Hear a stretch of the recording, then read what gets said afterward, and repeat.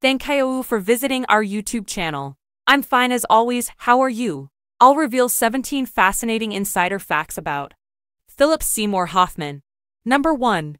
He was a gifted musician, playing the guitar, bass, and drums. Number 2. He co-founded the theater company Fudge Theater in New York City. Number 3. He was a voracious reader, consuming books at a rate of 3-4 per week. Number 4. He was a big fan of the Grateful Dead and attended over 100 of their concerts. Number 5. He was a shy child and initially pursued acting to overcome his social awkwardness. Number 6. He never used a cell phone and preferred to communicate through landlines and email. Number 7. He was known for his meticulous preparation for roles, often creating detailed backstories for his characters. Number 8.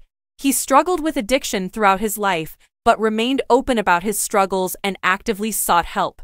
Number 9.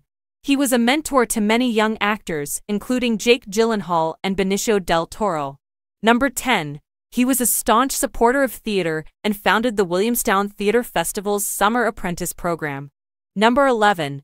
He was a skilled mimic and could flawlessly imitate the voices of friends, family, and even historical figures. Number 12. He was a passionate environmentalist and supported numerous environmental causes. Number 13.